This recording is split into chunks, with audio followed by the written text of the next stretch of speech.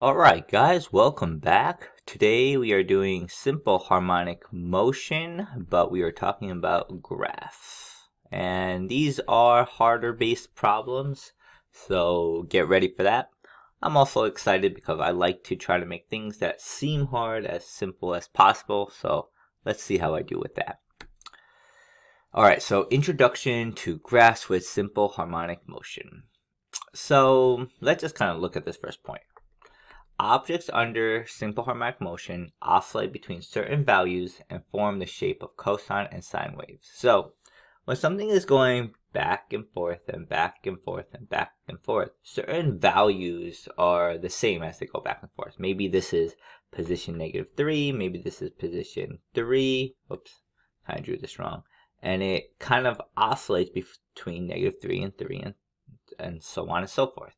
So we have this oscillation, you know, that looks like a sine wave or a cosine wave, a cosine. And um, same thing with the speed. You know, maybe it's you know speed here is five meters per second and zero on the end and zero on the end and goes from zero, one, two, three, four, five, four, three, two, zero, one, two, three, four, five, four, three, two, one, zero, and goes back and forth like that.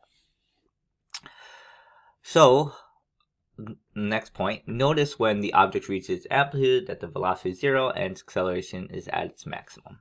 Okay, so first graph over here, we see that at time equals zero, it is at its amplitude.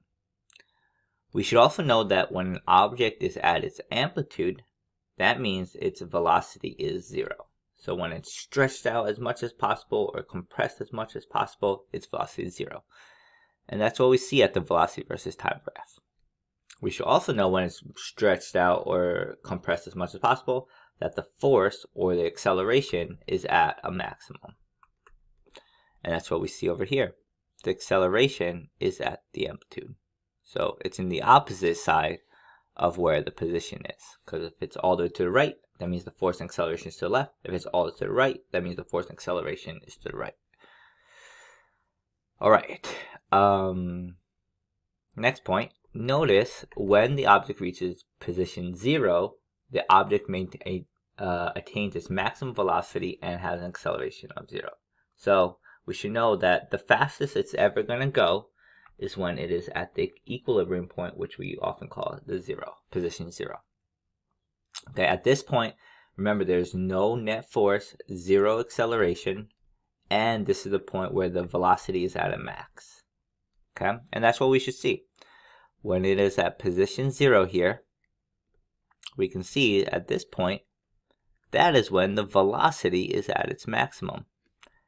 And then we can see that that is the point also when the acceleration is zero. Sorry, graphs don't perfectly align, but pretty good. and then it just does this back and forth back and forth, back and forth.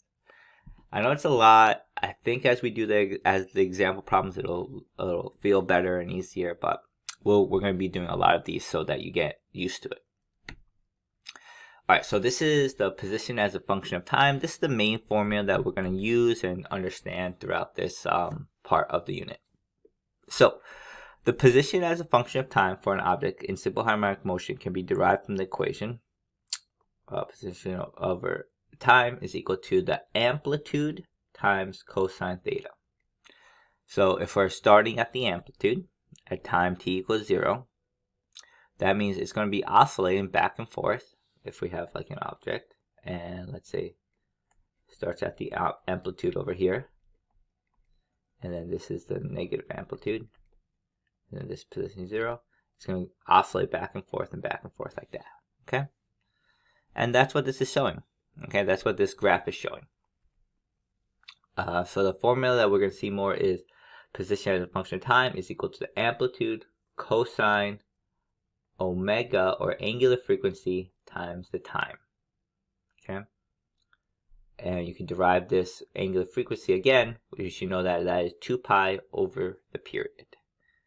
Okay, so this is the main formula that we're going to use as we do these problems. I know that's a lot that looks really confusing, but uh, it'll it'll as we do problems, hopefully it'll make more sense. Okay, so when we look at this graph, we see this position as a function of time. right here, but it's not filled in. So we can see the amplitude is two seconds, and we can see that it takes the amplitude from to go when something is oscillating back and forth.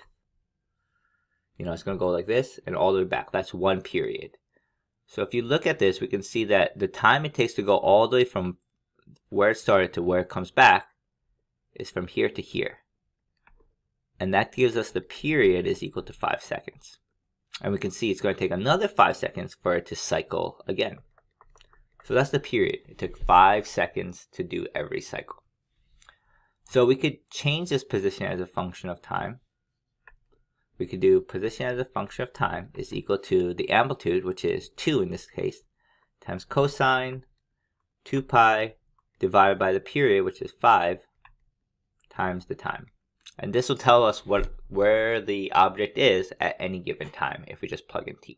And make sure to be in radians for this. Okay, let's finally start doing some example problems. If position was measured in meters and time in seconds, looking at the graph, at what time uh, in seconds is the block at its positive its at its positive amplitude? Okay, so we can see that over here, it's at its positive amplitude. Over here, it's at its positive amplitude. And over here. So same graph as last time. So 0, 5, and 10 seconds. Every 5 seconds, it's going to be at its positive amplitude. Part B, at what time is the black moving the fastest? So let's think about this. So it starts out, whoops, it starts out at its amplitude. And then let, this is the negative amplitude. Where is it going to be moving the fastest? That is at position 0. So right here, right here, right here, and right here. Okay? 1.25 seconds, 3.75 seconds, 6.25 seconds, 8.75 seconds. And remember, a full cycle is from here to here. So from here to here, that's going to be this period, which is 5 seconds divided by 4, which is 1.25 seconds. That's what we get. Okay? Alright, hope that made sense. Anyway, watch it back if it didn't because it is hard to grasp at the beginning, but it will as you keep working on it. Alright, moving on. Alright, so we talked about position as a function of time, and we have the formula here. Um, don't need to know this as much, but just need to know a little bit velocity as a function of time is equal to negative v max times sine theta. Okay, and that should make sense. So, you know, at time t equals zero, if it's at its amplitude here, because, you know, cosine, when cosine is zero, that means cosine is equal to one. It's just at its amplitude. Uh, at this point over here, the velocity is going to be zero. Okay, so when sine is equal uh, to 0, that's just 0, so this just becomes 0 because it's not moving in this instant. Okay? Anyway, so we can kind of derive the formula here. Same over here, negative a max. So this is pretty much like the opposite of the position versus function of time because when it's on the right position, it's negative. When it's on the left position, it's positive. Okay? I don't want to go too much into detail because we don't know, need to know too much about this, but just in general, this is following kind of what we learned at the beginning with these three graphs and how, how they interact with each other. Okay, so look at that again if you need to. All right, let's look at this.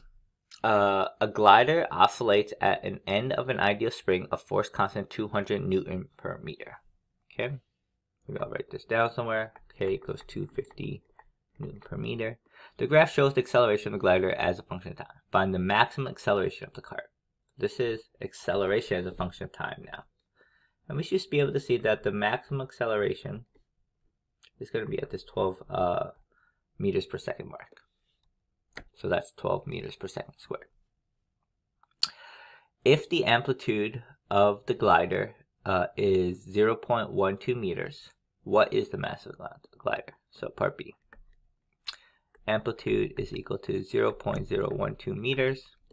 All right, so how are we going to do this? So we know the amplitude. We know the acceleration max, 12 meters per second squared. We know the K value, 250 Newton per meter. And now we're looking for the mass. So we should know that, if, let's look at a graph here. Let's say it is at its amplitude. This means that the force uh, of the spring is going to be the most. And this also means that the acceleration is going to be the max 12 meters per second squared. So we could say the force of the spring is equal to mass times acceleration. That's the net force. And we also know that force of spring is kx is equal to ma. And we're looking at the max. So k is 250. And this x is going to be the amplitude because it's stretched as much as possible. So that's going to be 0.012. The mass is what we're looking for, and acceleration is 12 meters per second squared. So let's put this into our calculator, and we should be able to figure this out. 250 times 0.012 divided by 12, and we get 0.25 kilograms. Okay. Part C is what is the maximum force the spring exerts on the on the glider? And we kind of already found this. We can just plug in, we could plug in one of two things. The mass times the max, max acceleration, or the force of the spring k times the amplitude. So I'm just going to do force of spring is equal to mass 0.25 times the maximum acceleration, which is 12. And then this is going to give us, I should know this, uh, 3, meter, uh, 3 newtons. Okay. Right, hope that was all right. All right, let's look at this next, next example. An ideal spring is attached to a support and pulled the distance A in the negative direction. Okay, so like we can see here, it's in the negative direction at time t equals zero. The mass oscillates with a period of t, meaning it goes all the way up and all the way down, back down. That took t seconds. Which answer shows the correct position versus time and velocity as a function of time graph? Okay, so it should start at negative a. So this one is good. Uh, th that one's good. That one's good. Oh, that one is not good. This one is good. That one is not good. Okay, and we should also know that when it's at its amplitude, the velocity as a function of time should be zero. It should start at zero. So that does not start at zero. This one does not start at zero. This one again doesn't start at zero. This one does start at zero. This one does start at zero. So it seems like right now this is the only option here. Another thing that we should be able to tell is that when it is um, when it is at the equilibrium, that's when it's going the fastest. And that's what we can see right here. Okay. All right, moving on. All right, a pendulum is graphed with the, the angle that the string makes with the vertical as a function of time, as shown in the graph. What is the period, frequency, angular frequency, and amplitude of the pendulum's motion? Okay, so now we're talking about a pendulum. And it's going back and forth. Uh, I guess it starts at an angle 6 degrees, uh, not to scale. Okay. Uh, okay.